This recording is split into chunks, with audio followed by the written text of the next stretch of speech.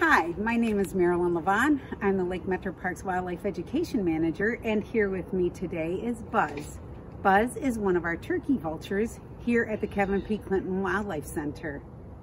Buzz is here to celebrate the return of the vultures from the south, and oftentimes you will see them flying in the air with their wings outstretched. They make a letter V, and they rock back and forth.